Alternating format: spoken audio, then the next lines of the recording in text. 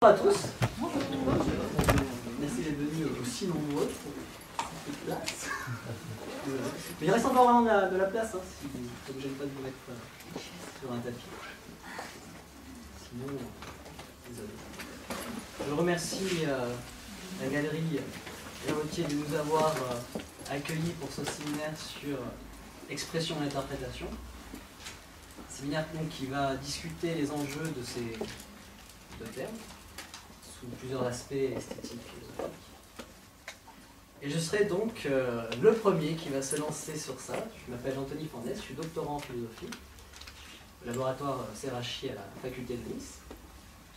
Et je fais ma thèse sur, entre autres, sur un philosophe, Ludwig Wittgenstein, qui a, euh, entre autres, beaucoup réfléchi sur l'esthétique, sur l'éthique et surtout sur la logique. Et la raison pour laquelle j'ai intitulé euh, ce- cette première séance euh, L'impossible expression du beau, c'est parce que pour ce dernier, il y a une particularité assez saisissante. Le beau n'existe pas. Au sens où, je vais reprendre petit à petit sa petite, euh, son cheminement. Pour ce dernier, les choses se présentent simplement il y a le monde, dans le monde, il y a des faits, et ce monde se configure de certaines façons. Tout simplement, par exemple, il y a un gobelet sur le tapis. C'est un fait. Et ce fait a une certaine configuration. Le gobelet est sur le tapis. Et voilà, tout est dit. Pourquoi? Parce que simplement, la pensée, le discours, va simplement reprendre la configuration qui se trouve dans la réalité. Et rien d'autre.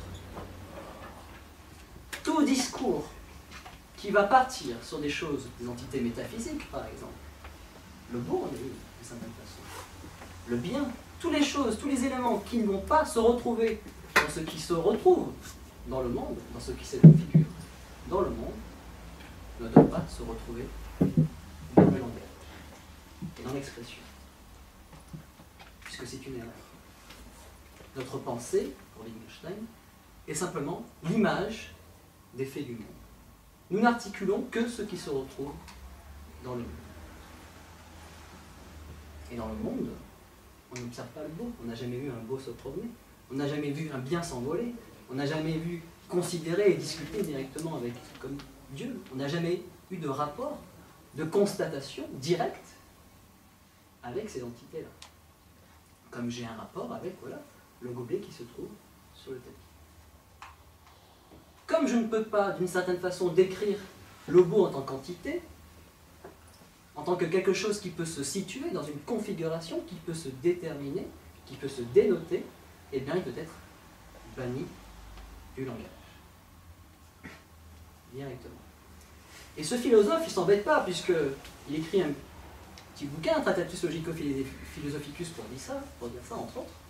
Et à la fin de son bouquin, il dit, ben voilà, il n'y a plus de problème philosophique. J'ai résolu tous les problèmes.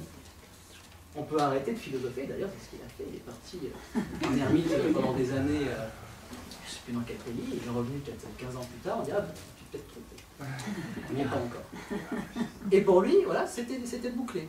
Puisque dans son système, le langage simplement est l'image du monde. Dans le monde ne se retrouvent pas ces entités, ces entités-là, le beau en question.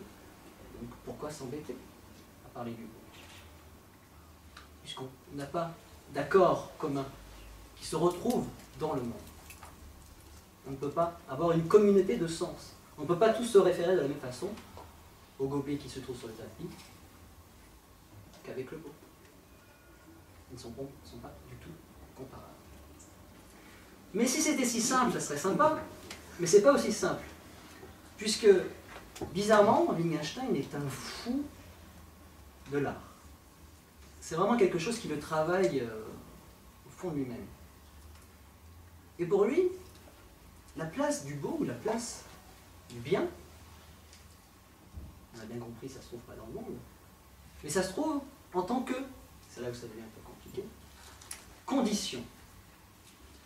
De la même façon que l'œil ne s'observe pas dans le champ de vision, lorsqu'on observe, on ne voit pas l'œil qui est en train de voir. De la même façon, le sujet disparaît dans l'expérience du monde. Parce que tout comme le beau, le bien et Dieu, par exemple, ne se retrouvent pas dans le monde, la subjectivité, c'est pareil.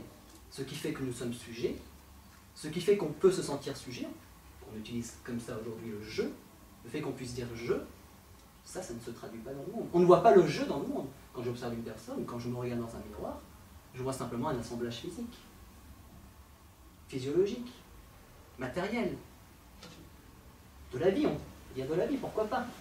Mais le je, je ne le situe pas dans le monde.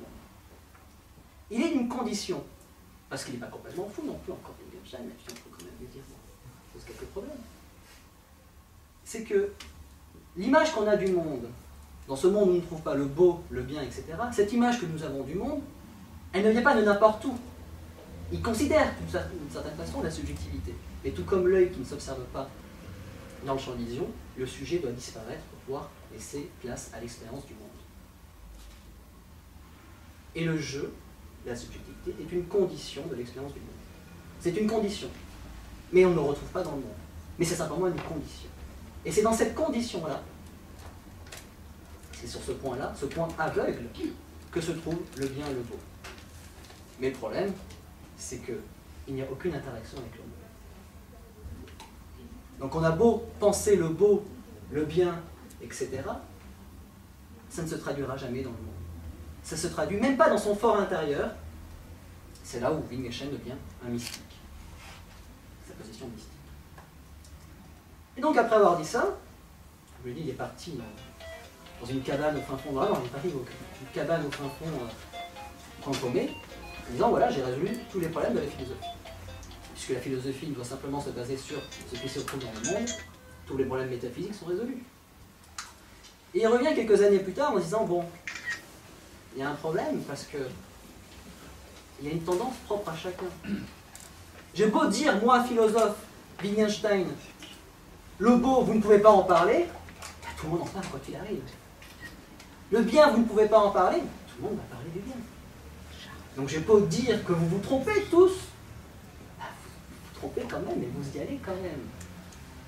Et donc il se dit, bon, si je ne veux pas leur dire, leur faire comprendre que ça ne se trouve pas dans le monde, il faut que je revoie un peu ma philosophie. Il a tellement en revue qu'il a même balayé complètement. Il dit, ah, c'est bon, on arrête. On arrête les frais, tout ce que j'ai dit, il faut le revoir autrement.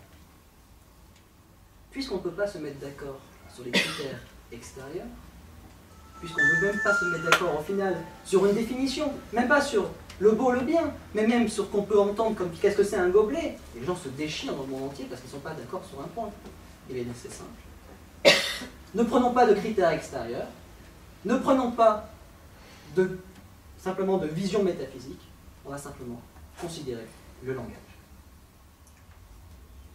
Le langage. On va s'arrêter simplement sur le langage.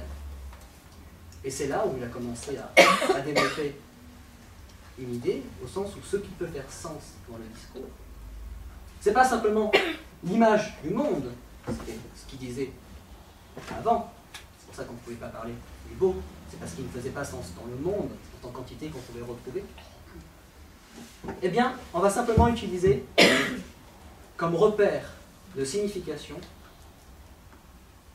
ce qui a un usage.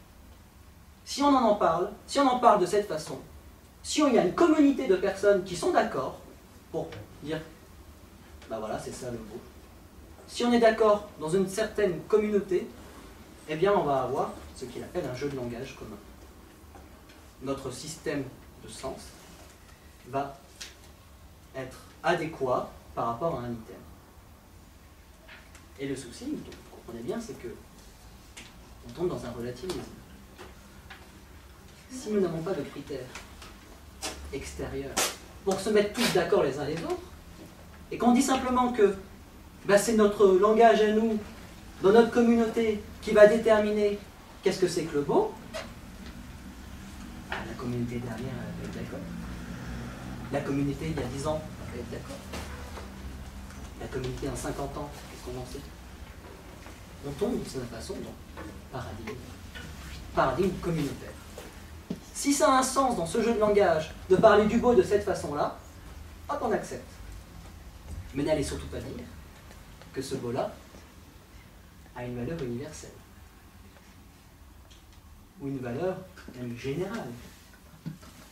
Ça aura simplement une valeur dans ce jeu de langage, dans cette bulle de sens, dans ce système bien précis. Alors, il a bien compris, Wittgenstein, qu'on lui, qu'on lui disait, mais tu tombes dans un relativisme complet. Et puis si c'est vraiment vrai ce que tu racontes, on ne peut même pas parler les uns avec les autres. On ne peut pas se comprendre, on aller dans, dans un pays dans un autre. C'est là où il dit, bon, il y a quelque chose quand même de premier dans le langage, c'est ce qu'il appelle la forme de vie. La forme de vie. On est des êtres humains. Qu'on soit en Chine, qu'on soit en France, qu'on soit au Pérou, un manque de bol, on est des êtres humains. Et donc, notre langage ne va pas partir complètement de n'importe où. Il aura un certain ancrage, ancrage humain. Mais on ne va pas bien loin avec cet ancrage-là. On ne va pas jusqu'au beau avec cet ancrage-là.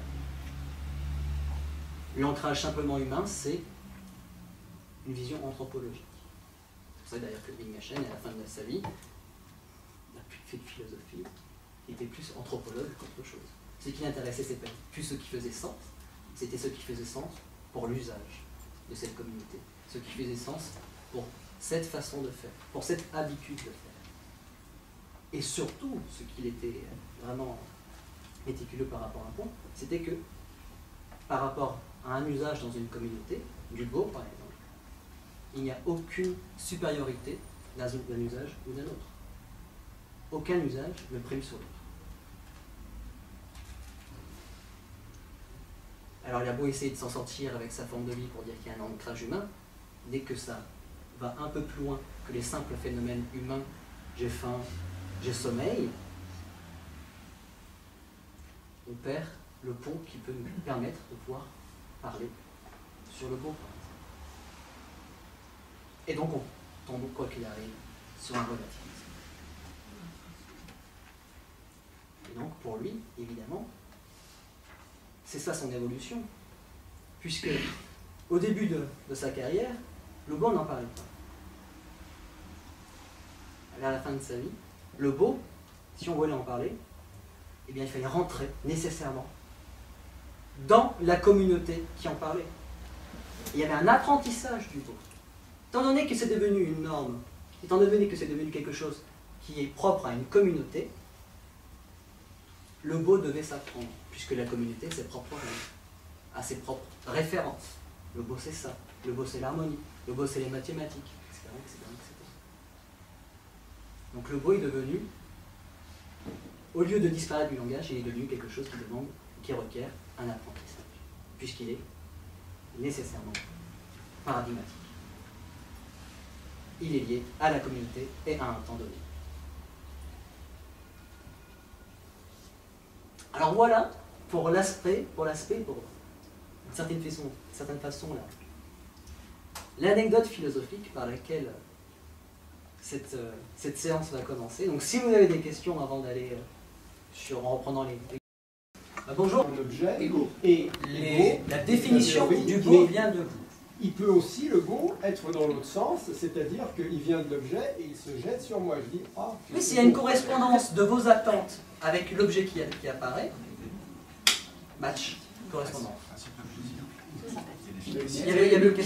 Oui, mais pour rebondir euh, sur cette définition du beau à partir euh, d'un collectif, euh, ne peut-on pas envisager le beau à partir d'une expérience telle que pouvait le définir Capro ou telle qu'on le définit aujourd'hui dans certaines pratiques contemporaines, notamment la, la photographie, l'expérience, donc l'œuvre d'art ne serait plus à partir du beau, mais à partir d'une expérience. Et c'est ces codes qui fonctionnent effectivement lors, par exemple, d'une interactivité euh, qui pourrait déterminer une nouvelle approche. C'est une des voies de la, cette disparition du beau, tout à fait.